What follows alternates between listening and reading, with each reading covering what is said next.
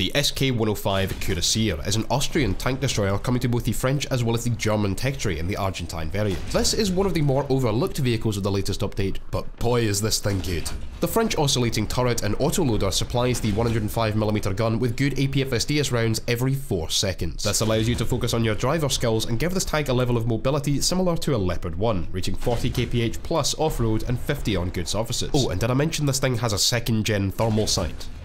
The only problem with the Cuirassier is your lack of stabiliser, which French players at 8.3 will be getting used to, but German players may find a shock. The tank suspension does keep the gun relatively stable, but keep in mind you'll take a while getting it on target compared to other tanks at your tier, and don't try to peek against other enemy light tanks. The SK-105 is best suited to medium range engagements, don't need to be fooled by speed and reload rate into a hyper aggressive playstyle.